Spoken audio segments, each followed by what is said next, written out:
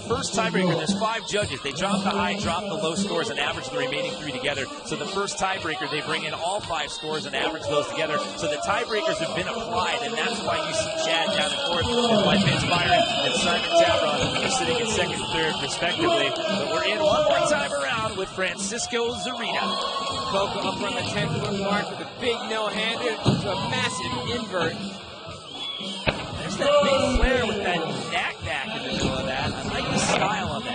Smooth, super fluid.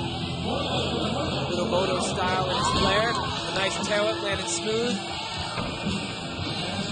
There it is, the flare tail whip. Casually he does that. Right into a double tail whip. That could have been Kind of slipped the pedal, went for the flare on the back. He bumped the back tire on the Kobe. That could have been really bad, but he rides out of that one, doing some push-ups on the flat bottom.